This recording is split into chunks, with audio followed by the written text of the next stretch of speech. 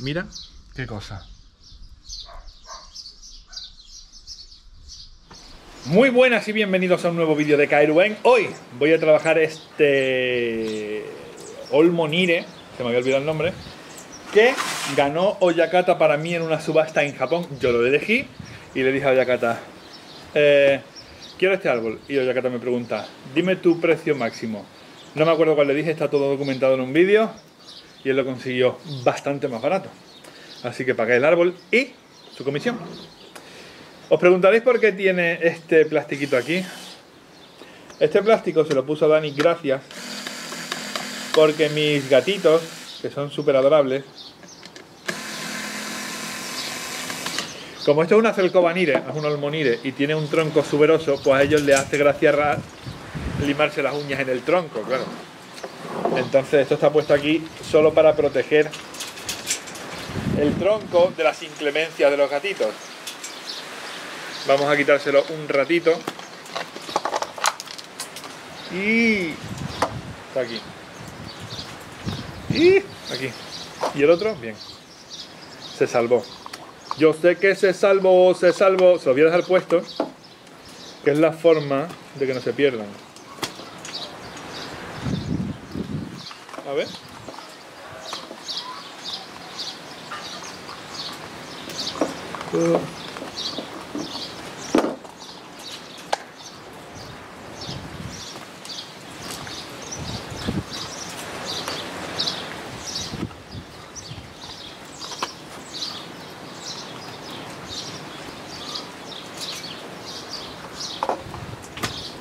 Como es lógico y normal, las heridas van sanando, van cerrando, son unos em, cortecitos longitudinales que van haciendo los gatos de limarse las uñas.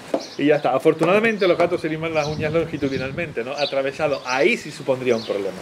Longitudinalmente no debería ser un problema siempre y cuando la herida no sea demasiado y no llegue al núcleo. Además, como ha hinchado un poquito por aquí, mira, acércate. Benjamín, segundo, segundo. Yo es que me lo paso la madre bien solo. las fiestas de Navidad no te lo imaginas. Pues como ha hinchado un poquito, esta parte de aquí, pues la cicatriz que tenía aquí, donde estoy metiendo el dedo corazón, ¿veis? Pues esa cicatriz está cerrando. Esta cercoba, este olmo, es una mala bestia. Aparte una cosa que a Oyakata le gustó mucho cuando yo elegí esta para, para la subasta, es que, tal y como me explicó, los olmos normalmente tienen un tronco finito con una buena ramificación. En este caso tiene un muy buen tronco. Yo he dicho hace relativamente poco que estoy vendiendo toda mi colección de bonsai. No quiero tener una posesión de bonsai, al contrario, quiero crear bonsai e ir buscándole eh, hogar. Pero este por lazos es, junto con el Ficus del Buda, el único que me voy a quedar yo para mí. No lo voy a vender porque, por eso, porque es como un nexo de unión ahí con, con mi Oyakata en Taichung. Verás, siendo muy sincero, no es que Oyakata me dijera, toma, te regalo esto como nexo de unión, no. Yo le dije, quiero este olmo, ¿cuánto quieres por él? Oyakata me lo consiguió, me cobró su comisión, una, una transacción de toda la vida. No es que tenga ahí un trasfondo romántico, folclórico, de no, es que mi Oyakata me lo regaló en señal de amistad eterna. Eh, eh, eh". Oyakata lo consiguió una subasta y me lo cobró. Y ya como y aparte el precio de cualquiera, ¿no? Es que me hizo un precio. No, no, no. Negocio puro y duro, pero oye, le tengo un apego especial y ya está. Yo puedo adornarlo todo lo que quiera, pero vamos, la verdad es una. Y es que yo le tengo un apego especial a este árbol y ya está. Tampoco tengo que justificarme mucho, eh, porque es mío y ya está. ¿Vale? Qué tío más antipático, Guillo el Cortiza, en verdad, se le ha subido la fama a la cabeza, de que es rico, claro. Pues eso, voy a hacerle un pinzadito. Habéis visto cómo está desde la última ocasión que lo, que lo trabajé. Y la verdad es que no lo he abonado. Dije, lo voy a abonar con Joya Gris, pues se me ha olvidado. O no he tenido tiempo, no sé. Pero no lo he abonado.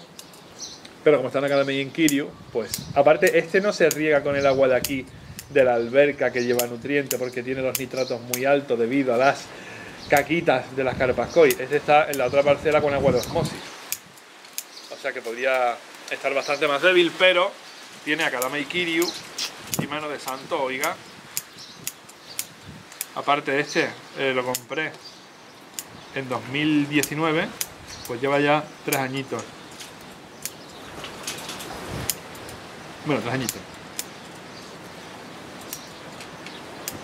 Me, después me llegó y toda la historia, ¿no? Pero vamos. Lleva eso, pues dos añitos y pico, cerca de tres sin trasplantarse, en su misma Akadame Kiryu. Y si os soy muy, muy, muy sincero, que lo soy siempre además, no tengo memoria para mentir, la verdad, pues no lo he abonado nunca. Yo soy un desastre con el tema del abono. ¡Mentira! Mentira, mentira cochina. Algún aditivo sí he echado en el bidón de riego de osmosis de 500 litros. De 500 litros, pero vamos, un programa de abonado con abonos sólidos japonés, tal, tal, no, nunca en la vida. Y está así de bien. ¿Por qué? Pues porque tiene un sustrato de altísima calidad y le viene de maravilla. Tiene una buena exposición al sol,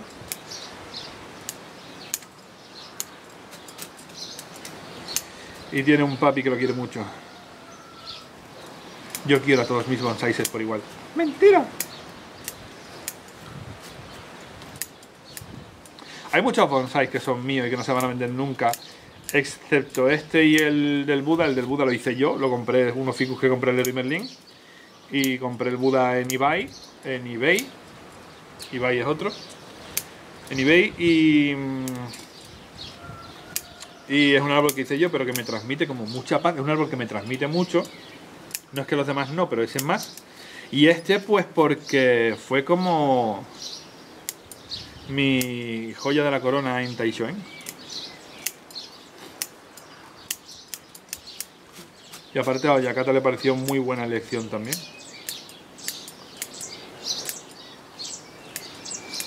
Así que... Pues eso.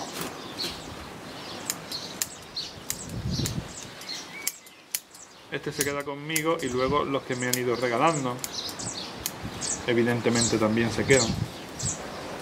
Pero lo que no quiero es tener una colección privada de bonsai. No soy coleccionista. Soy bonsaísta, yo hago bonsai. No los acaparo.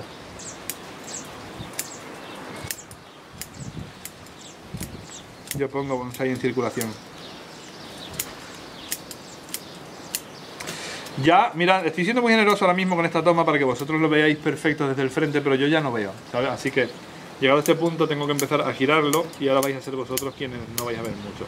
Si os fijáis, no estoy haciendo un pinzado de estos de libros, de dejar dos pares de hoja, cuatro pares de hoja. No, este es un árbol muy formado, muy ramificado y lo estoy pinzando para devolverle la forma, para que no se me vaya de las manos, que luego se va la brotación a las puntas, el verde se aleja, es difícil retrocederlo y ya empezamos con problemas. Esta es la forma de mantenerlo ramificado. Esta y un abonado 365 eh, días al año porque los olmos, las ulmáceas, necesitan estar abonados todo el año para mantener la ramificación fina. Si no empiezan a malograr la ramificación fina y se quedan solo con la ramificación primaria, secundaria y tal. No lo digo yo.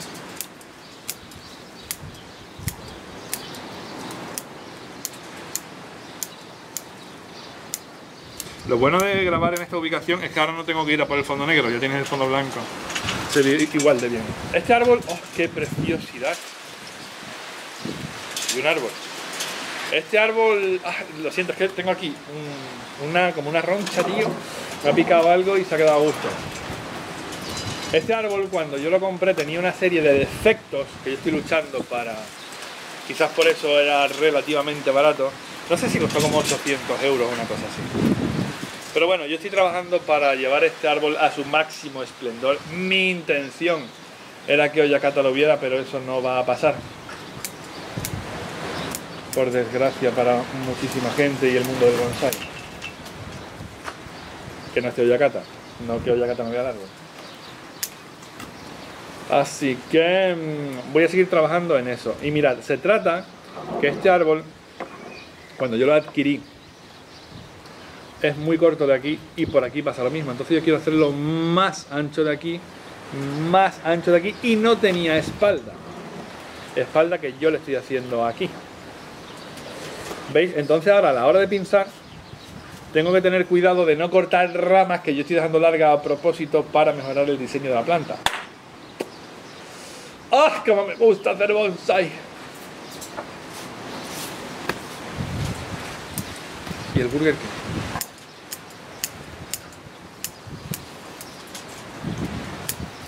Que ya llega una horita así que le entra un, un hambre importante. Y tengo para atenuar mi hambre manzanas. No un bocadillo de jamón mismo, no, manzanas. A ver, a ver, a ver, a ver, todavía puedo seguir por aquí, todavía puedo seguir por aquí. No lo estáis viendo, lo siento, vidas mías, yo sí. Ahora lo vais a ver cuando le dé la vuelta. Pero es importante que lo veáis yo. Que en este caso soy el autor.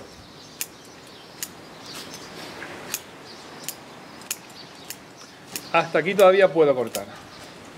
Por aquí puedo cortar. Vais a ver que ahora mismo estoy haciendo así un poco, cortando esto cual seto, redondeando. No pasa nada.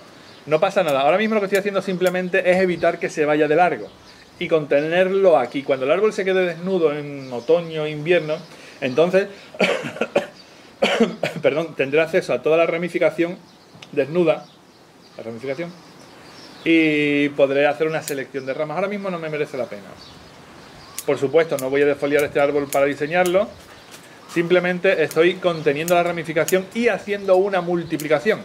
Porque a medida que voy haciendo esto, ahora el árbol empieza a brotar por dentro. No se aleja. Y eso es supra importante. Segundo. No quiero que se vaya de frente demasiado lejos tampoco. De verdad. Ahora mismo lo que estoy haciendo simplemente es contener, contener, contener, contener. Que no se vaya muy lejos.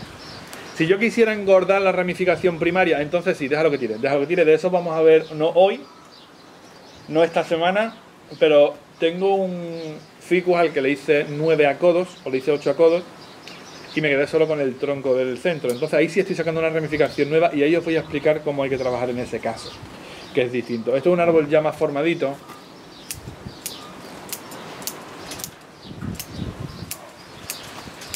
Y lo importante no es lo que estoy haciendo ahora mismo, lo importante es lo que voy a hacer a continuación. Dejadme un segundo que estoy aquí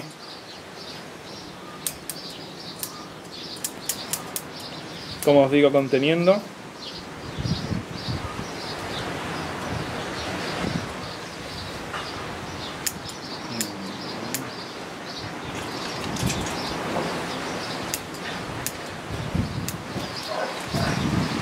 Soy ya viejo, ya me ves, nos dejo con mi bendición.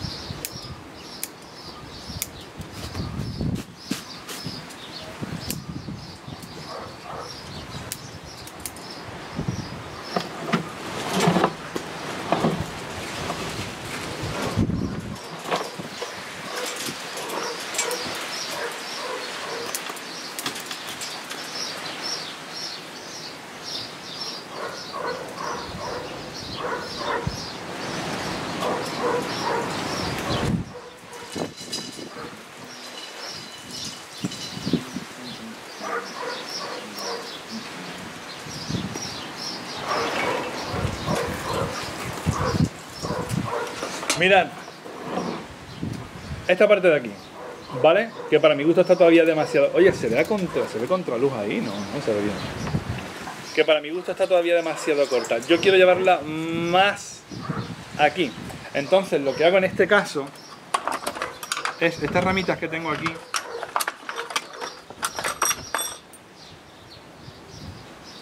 veréis un alambre muy finito este no llega ni a un milímetro no llega ni a un milímetro de grosor. Veréis, veréis.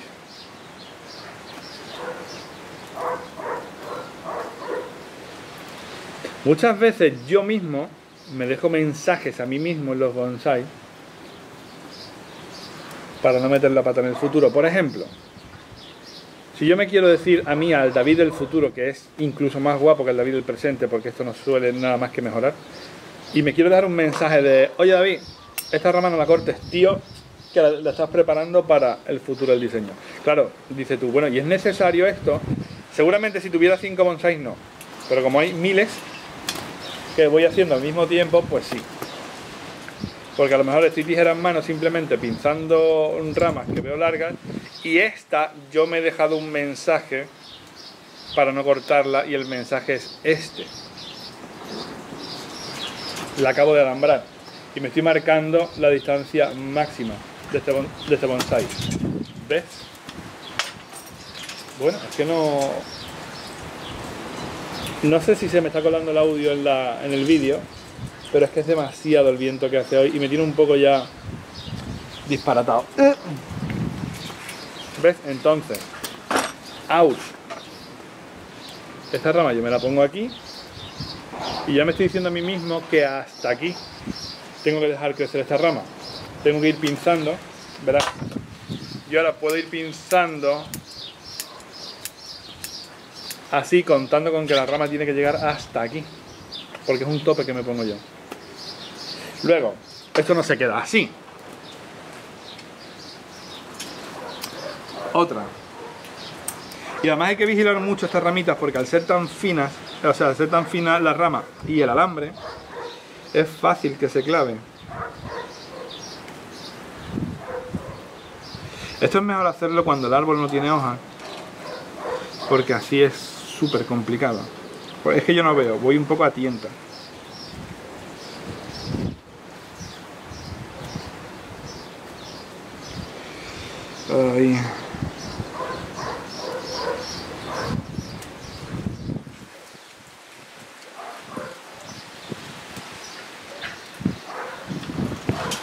Aquí no sirve el truco ni de dos pares de hojas, ni de cuatro pares de hojas, nada. Mirad, es así. ¿Vale? Yo ya me voy marcando... Eso era muy de Oyakata, el decirte eh, hasta dónde llega la rama, cuál es el top, te decía, ¿no? Tú decías, hasta aquí, vale. Para él era muy importante que identificaras cuál era la rama principal, la main, y hasta dónde era el top. ¿Cuál era la rama principal y hasta dónde llegaba? O sea, ¿cuál era la rama, principal, quiero decir, de cada de cada copa te decía cuál es la rama principal y entonces había una rama dominante y de ahí ya bifurcaban el resto. Y luego el top, que es esto que estoy haciendo yo.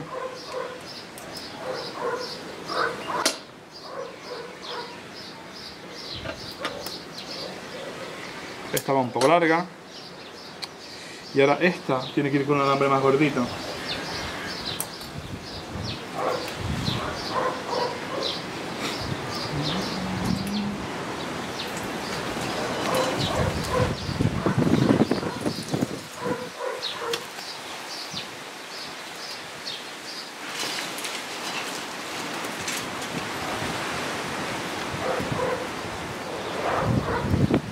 Una conexión, no la estáis viendo, pero yo prácticamente tampoco, y lo que os interesa es esto. Ahora, esta ramita fina, ya la voy cortando, digo la voy cortando, la voy alambrando para no cortarla en el futuro, sin pisar ninguna hoja.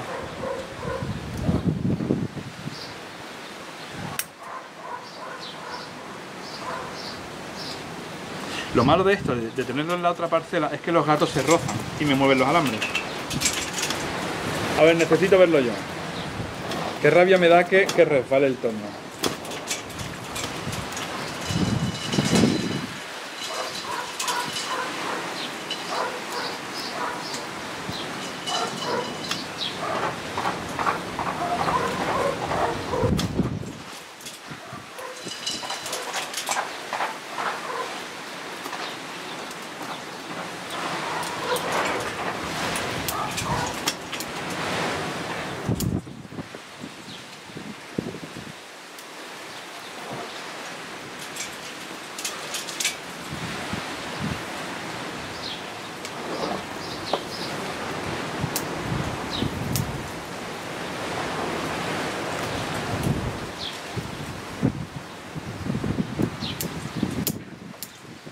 Vale. Esa se queda tal cual. Estas se quedan así. ¿Veis? Aquí está marcado ya el tope de la, de la rama. Tiene que llegar hasta aquí. Se ve la silueta perfecta. Ahora tengo que hacer lo mismo con la espalda. Mirad, súper importante. De esto se habla poco, yo cada vez más. La vista cenital, la vista desde arriba. Este árbol tiene que tener mucha más profundidad por aquí. ¿Veis? Tiene que tener mucha más profundidad aquí. De momento está chato. Si lo veis por la espalda, está demasiado culo carpeta así. Esto tiene que llegar más profundidad, tiene que llegar mucho más lejos. Por ejemplo, aquí sería una buena profundidad y de aquí lo mismo. Aquí tenemos un hueco enorme. Este hueco ya venía, es algo que yo llevo solucionando o intentando solucionar ya pues tres años.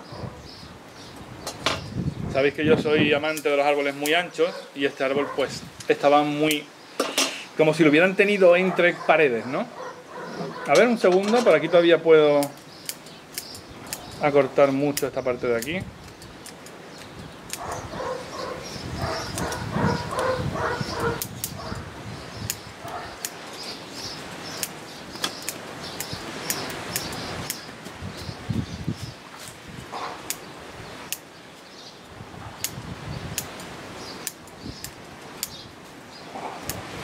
Este árbol tiene que quedar como mínimo perfecto.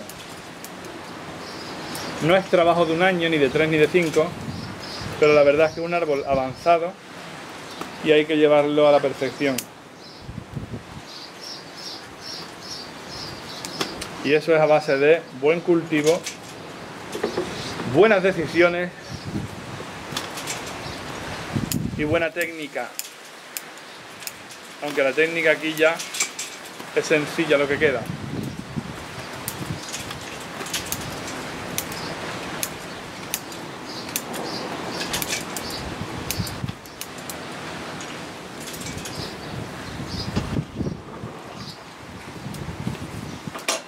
Lo veo en el vídeo súper desordenado.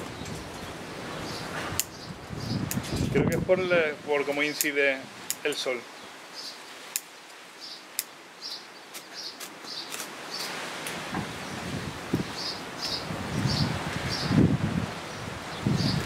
Aquí veo un bulto aquí.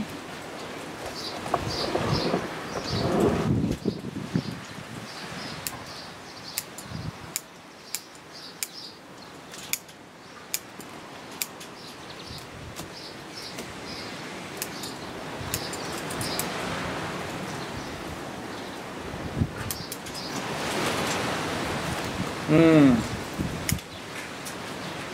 Repito,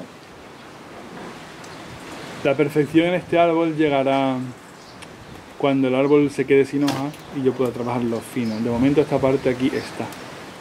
Y ahora tengo que arreglar esta de aquí y la espalda. A ver la espalda.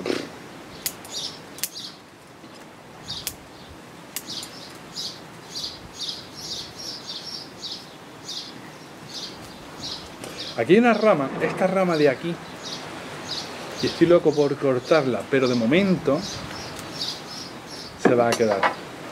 Luego, esta es la espalda baja.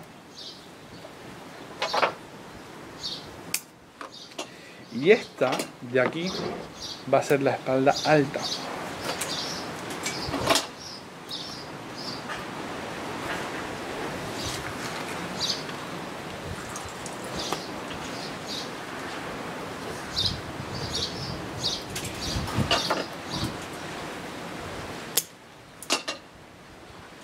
Este plano lo va a cubrir esto de aquí.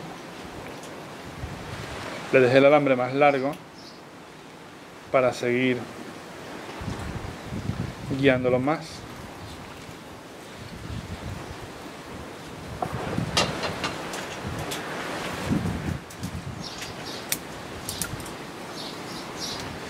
Y aquí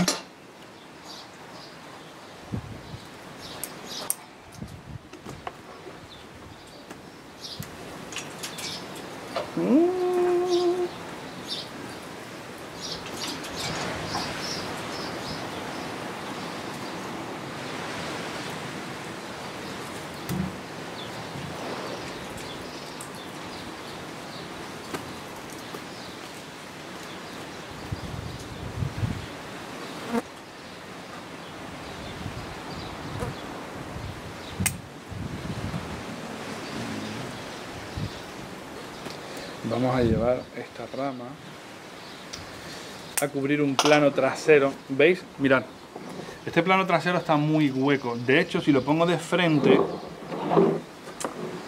¿veis que hay mucha luz aquí atrás? Esto no está bien. Esto da impresión de, diseño plano. Necesitamos tener profundidad aquí, que todo esto de aquí esté cubierto, pero bien cubierto por ramificación. Entonces yo con esta rama que estoy colocando aquí, va a ser una masa de verde aquí. Y con esta rama que voy a colocar aquí, va a ser una masa de verde aquí. Entonces, vamos a tener espalda aquí. ¿Veis la, la longitud que tiene? Y luego aquí vamos a hacer otra. ¿Veis? Una copa aquí y otra copa aquí. Y de esa forma este árbol no pierde el culo aquí, sino que sigue mucho más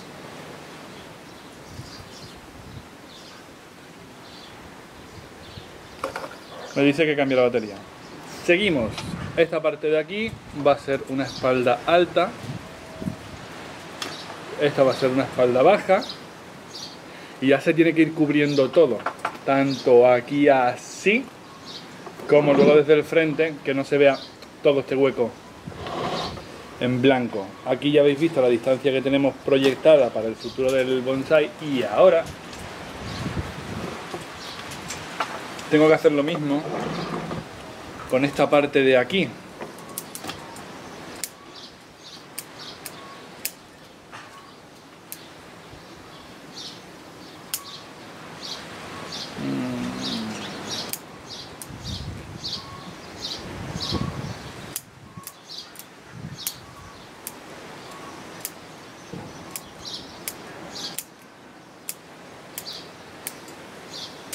Más o menos. Voy a poner unos alambritos para que se entienda bien y aparte para que vaya creciendo y desarrollándose bien en la dirección correcta. Os he dicho antes que tenía ya un hambre importante, pues me he comido, en eso que cambiaba la batería, pues me, me he recargado yo las mías también. Me he comido un par de manzanitas. Es lo que es el corazón de la manzana, se lo he hecho a las gallinas y se ponen como locas.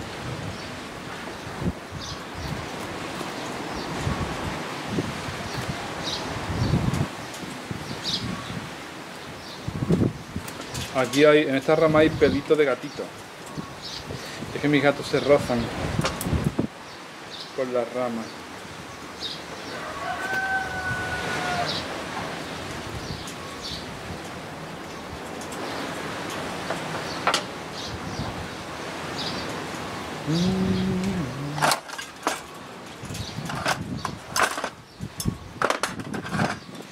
Segunda.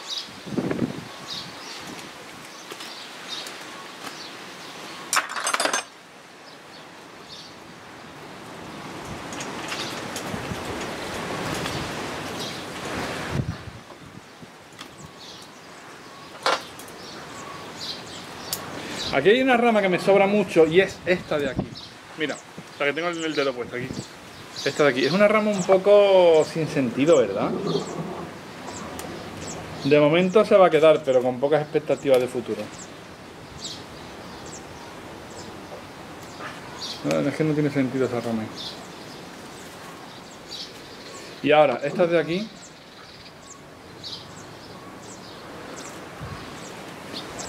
Vamos a ponerle unos alambritos también para ir marcando ya la posición definitiva de cada rama.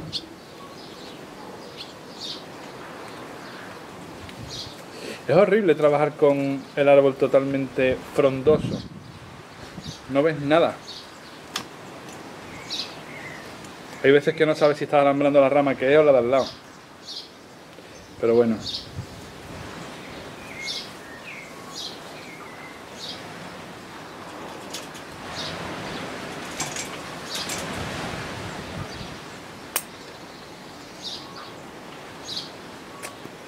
Eh, Bueno, estas más o menos ya están. De hecho, hay una que tiene un alambre puesto, o sea que ya ahí he metido yo mano antes con este mismo propósito.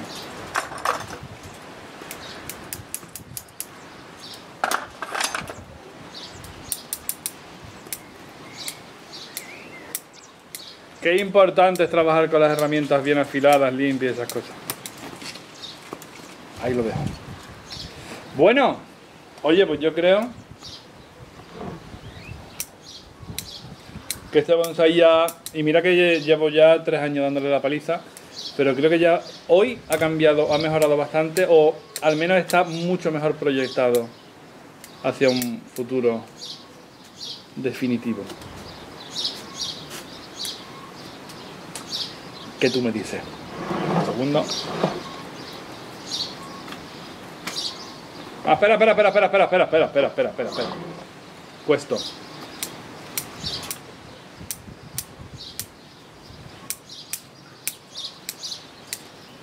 Los que sois miembros del canal, estáis viendo unos vídeos de Taicho En, donde había un, un italiano allí, Paolo, que estuvo unos cuantos días. Así que me habréis escuchado también chapurrear italiano. ¿Sabéis que cuando estábamos en la Astana Formel, en una navegación que se hacía de la OTAN por todos los países de la OTAN, cuando hacíamos las paradas en, en Italia, las visitas guiadas en italiano, las hacía yo.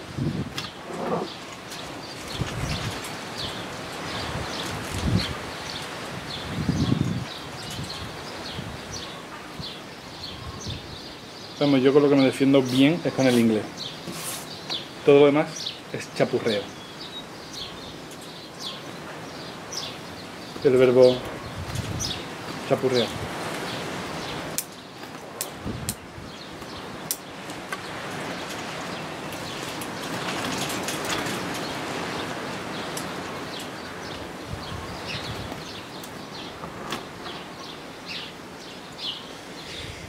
Y qué difícil se me hace este árbol. Se me hace difícil porque es un estilo kabudachi. Es un estilo de tronco múltiple, algo con lo que yo, aunque conozca las directrices, no estoy muy familiarizado. No es un diseño habitual mío. Yo soy super moyogi man. Y el, y el kabudachi es muy distinto en todo, entonces me, me cuesta, me desubico un poco, pero bueno, va quedando chachín. Bueno, a ver un segundo que no veo si esto de aquí queda claro. Sí, es que son diferentes alturas, ¿vale? Son diferentes alturas, que no os, que no os desconcierte. Eso, mirad, aquí tenéis esta rama de aquí, veis que tiene esta altura, pero luego esta tiene esta altura. Esta altura de aquí es algo así como el máximo. Una cosa así. Luego el árbol tiene que ir en corrido hacia aquí. No es un triángulo seto, ¿vale? Este árbol está muy trabajadísimo y tiene una ramificación muy conseguida. No se hacen setos. Lo que pasa que es verdad que cuando... Eh, cuando el árbol está muy poblado, muy frondoso, sí es verdad que los espacios esos se llegan a perder. Entonces hay cierta continuidad, aunque los planos estén bien formados y las ramificaciones bien definidas dentro de esa masa de verde. Si veis ahora mismo mi ficus decapitado es un triángulo. Perfecto. Pero vamos a ver. Más salud no le cabe a este árbol. Pero ahora mismo es como un super triángulo sin más. Sin embargo, si lo veis desde abajo, tiene toda la ramificación perfectamente seleccionada, muy lograda, todo. Pero, como es un árbol tropical y ahora mismo tiene mucha fronda, pues es un triángulo y esta etapa es necesaria para que el árbol tenga vigor y coja fuerza. Pero tanto el ficus decapitado como este tienen su estructura perfectamente diseñada, con alternancias, con las ramas bien bifurcadas, las selecciones en V, todo. es verdad que son árboles, sobre todo en el ficus, en el caso de árboles tropicales, que son como súper frondosos, hay una etapa en la que el árbol tiene mucha fronda y esos espacios se pierden. Pero están ahí, hay que hacerlo. Y en el caso de este olmo, ahora mismo veis que hay muchos espacios, aquí hay demasiado aire, demasiada luz, demasiado espacio. Pero bueno, este árbol cuando quede desnudo pues se verá toda la ramificación fina, bien conseguida, bien lograda. De momento tenemos un triángulo verde, la mar de mono, pero este árbol se luce cuando está U, otoñando, o totalmente desnudo porque ya ha perdido la hoja. En invierno se, se presenta en exposiciones o con la coloración otoñal, que es un amarillo precioso, u ocre, o se presenta cuando el árbol está desnudo para lucir la ramificación. Por eso tiene una maceta verde. Una maceta verde a un árbol verde no le dice absolutamente nada, pero una maceta verde a un árbol con la hoja amarilla, una maceta verde a un árbol con la ramificación desnuda es un espectáculo. Hasta aquí, videa compara en verdad.